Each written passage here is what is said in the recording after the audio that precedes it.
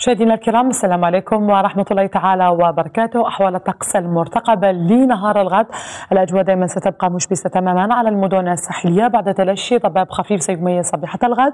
تمركز لسحب كثيفة سفلى على المرتفعات الداخلية الوسطى والغربية. نشاط رعدي بشمال الصحراء منطقة الثورة لكن مرفوق بأمطار احتمال أن تكون رعدية بأقصى الجنوب الجزائري ومرتفعات الهجار والتاسيدي خلال هذه الليلة ولصبيحة الغد درجات الحرارة الدنيا تتراوح ما بين 20 إلى 28 درجة بشمال الوطن. لن تتعدى 31 بشمال الصحراء. 32 درجة فيما يخص تندوف وأدرار 31 بإن صلاح إنجزان 25 بتمنى ست جاناتي تقارب 28 درجة بإليزي.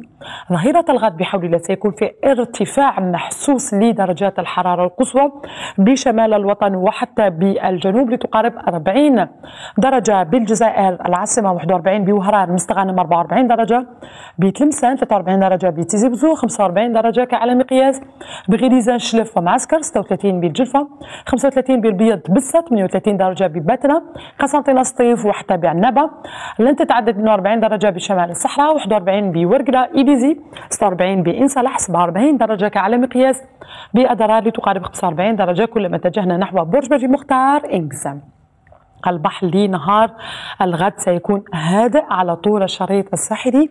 سرعة رياح ضعيفة لن تتعدى 20 كم في الساعة على السواحل الوسطى والشرقية 30 كم هذا على السواحل الغربية والرياح ستأتينا ضمن تيارات شرقية شمالية شرقية على السواحل الغربية.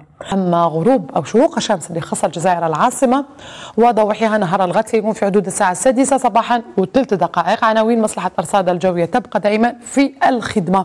أشكركم على المتابعة في أمان الله.